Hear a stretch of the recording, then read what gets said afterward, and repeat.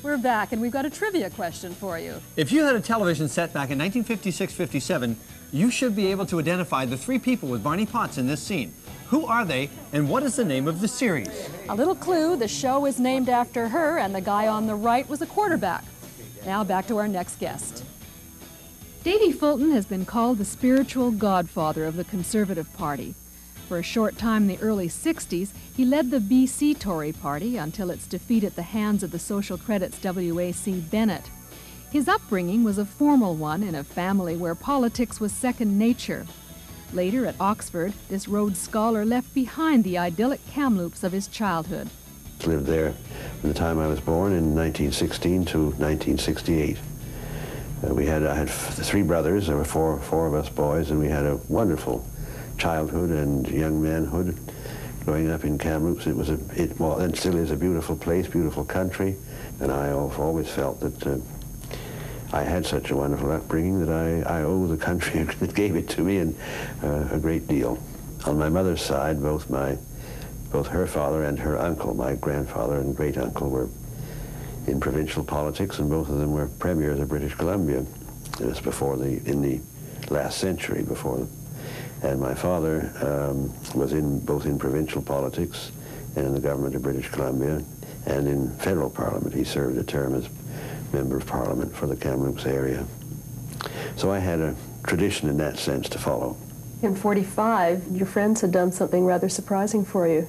Yeah, the, the letter started out, Dear Davie, uh, some of us, uh, we were wondering whether you might agree to, be, to run as our candidate, and then it obviously taken two or three days it passed, and it ended up, as a matter of fact, we had a meeting last night and nominated you, so we hope you'll accept. so that was, and I... That's very funny. Yeah, and that was my first election then in 1945. He won that election and so began a long political career. At 41, as Justice Minister in the Diefenbaker cabinet, he discovered firsthand the awkwardness of amending a London based constitution and was inspired to help draw up the formula for its patriation. When our, our term of office began to run out at the end of 62, 63, and the political climate deteriorated, um, but that formula was there and the agreement was there. It was taken over by the Pearson government after they were elected, and Mr. Favreau made one or two changes in it, became known then as the Fulton-Favreau formula for the patriation of the Constitution. So I regard that as a, uh, that was all there when Mr. Mr. Trudeau came along later, and although he didn't adopt that specifically, the process had been there, and I, I understand that it was a, a good background uh, for the constitutional process that went on after that. So I was very happy to have been involved in and that close to success. I'm just sorry that we didn't get complete success while, while, while we were in office. Are you ever going to retire? Oh, yes. Yes, I, I, I, have to. I, I'm very fortunate in that I enjoy good health uh, at my age, and I hope to enjoy good health for the rest of my life. Um, but my wife and I want to do some traveling, for instance. Uh, there is a great deal of that and other things to be done, and, and I'd like to do that while I still have the health and the vigor to really enjoy it. And I've had a pretty full life, but uh, so I'm not anxious to down tools and stop work, but uh, and there's always a garden to look after, and there's lots of golf to play. so I would have, I think, a very happy retirement. No matter what accomplishments George Hungerford may eventually leave as a legacy, he'll always be remembered as the rowing partner to Roger Jackson, who stunned the Olympic rowing world by winning the gold in the 2,000-meter coxless pairs event at the 1964 Summer Games in Tokyo. He's since been honored with the Order of Canada, the Hugh Marsh Award, and countless other awards. When he first started rowing, however, it was as a member of the UBC Eights. I tried out for the eight-oar crew, and I made the Canadian team rowing the eight. And that was in the summer of 1964. And uh, we rode and competed and succeeded in the eight in uh, Henley and, and uh, St. Catharines, Ontario. In August, I was diagnosed as having mononucleosis and uh, decided that, uh, I didn't decide, the doctor decided I was going to bed. But the second, uh, second week of September, I got out of bed. So I, I turned out again, but it was obvious that I wasn't strong enough, obvious to the coach anyways, that I wasn't going to make it in the eight-oar crew. Roger Jackson was there, and he had been going to row a pair in the Olympics. And the fellow he was rowing with was put into my seat. And so what they did was they relegated me to row the pair with Roger. What do you remember most about the gold medal race? First thing I remember is when they, uh, when they called the uh, Et vous partir, the, the starting call was that uh, the worst thing that can happen when you start a boat is to for one of the oarsmen to go too deep and catch what we call a you know a frog, just to go deep, and that turn tends to turn the boat over, and in fact it can turn the boat right over. And on the first start, uh, that's exactly what I did. I went deep. Roger was off balance, and the shell almost, uh, you know, almost went right off, uh, right, right over. Fortunately, someone had false started.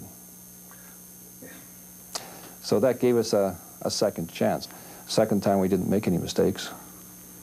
Was it actually a relief to be out on the course and just get on with it? Get on with it. That Yeah. first stroke is so important. I mean, it's really important to get a good start. We had rode a very strong course and had uh, had had the race under control, but in the last uh, three or four hundred meters in particular, I was starting to tire. And uh, although I had been recovering and uh, improving all the time, my endurance was improving, I still was certainly not up to what I consider to be my peak condition. So in those last two or three hundred meters, I was I was starting to fade. Now in a pair oar event, each one of you has one oar, and uh, you, the, the stronger oarsman just has to slow down. So crossing the finish line three hundredths of a second ahead of the Dutch, uh, that's close. That's a close race. I rode the following year, and Roger and I rode over in uh, the Henley in uh, in England, and uh, that was a, a marvelous marvelous summer. But I think the I knew, I think psychologically, I knew the the end of my rowing career was Done. was done. I was uh, off to other other challenges, and uh, rowing uh, was just uh, just one of those along uh, along along the road. Truly, time does not permit to the telling of the multitude of charities, causes, and boards that George sits on. Plus, he continues to run one of the busiest, busiest law firms and families in Vancouver.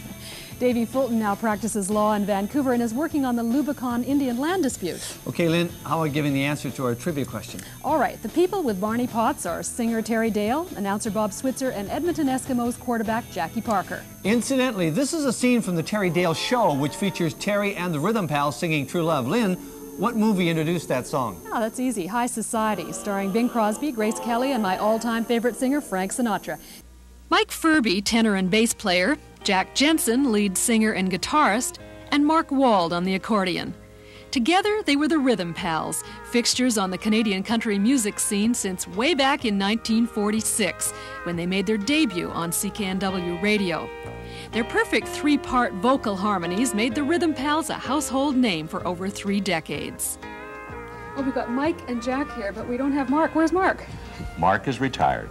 Mark retired about a little over a year ago, and he's living in Nanaimo.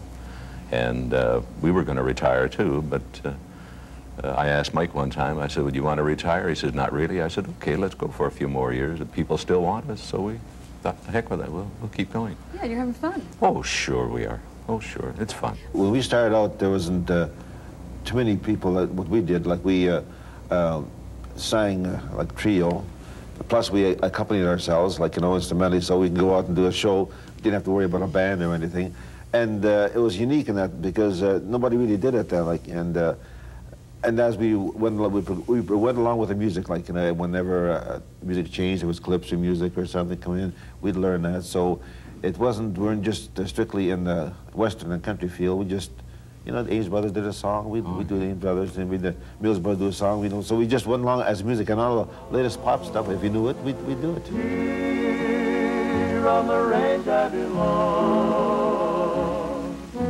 drifting along with a tumbling tumbleweed. You had a great life back then, didn't you? Oh, It was. It was it really. It, they say the good old days. They were because uh, entertainment was different then. Like you know, you uh, people used to come out and uh, there wasn't so much television and there wasn't uh, so much all these video things you can get now. Then you go out there and you, you go to a dance or and, and you have fun. You know, just they just and it's like a, like a big big party. That's what it was most of the time. And the places we opened on Kingsway, well, we opened Camel. Well, we did shows for all the, the Super Valu, all those stores.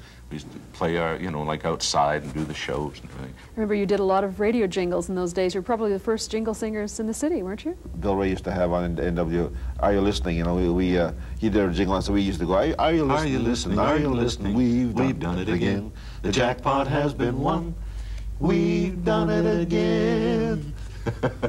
now you, so-and-so has won $10, whatever it is, you know, for the best story. It was a lot of fun doing the Burns Chuckwagon show. Oh, yes. Yeah, oh yeah, it was. He was But uh, Don Franks, who's living in Toronto now. Pat Kirkpatrick, Pat Kirkpatrick. Ray McAllister. God bless Lorraine. She's, you know, she was a dear, dear lady.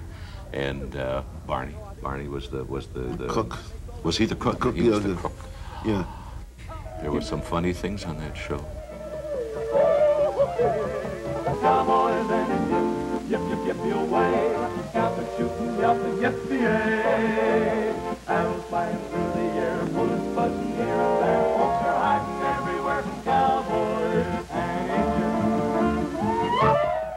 I guess you're pretty happy with the way your career turned out, aren't you?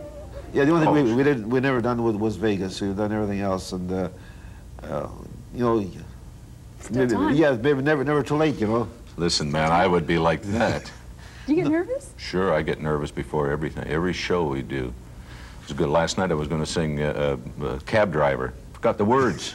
So I'm saying, Mike, what's the words? What's the word? Completely, completely lost because I was nervous. I was uptight. You think you'll be playing five years from now? I don't know. Because uh, my wife says that you better get a, a, a hobby, Jack, or you're going to drive me crazy. So, Well, because you know, you, when you you're away from home a lot, you come home there.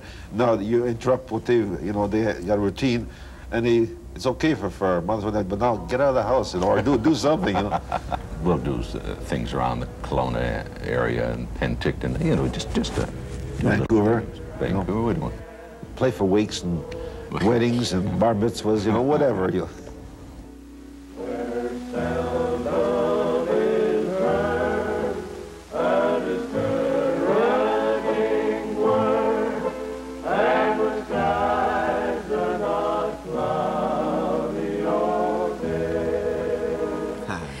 The Pals have spent the summer performing in the prairie provinces and at the Calgary Stampede. Well, that's a wrap for us. Next week, I visit with world class swimmer Elaine Tanner and I talk to Expo's Man of the Year, Jim Pattison. We'll hear the sweet jazz sounds of Fraser MacPherson, and I talk with writer and humorist Eric Nicol.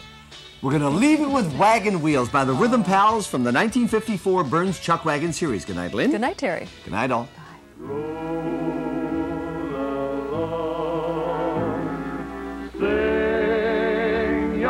song,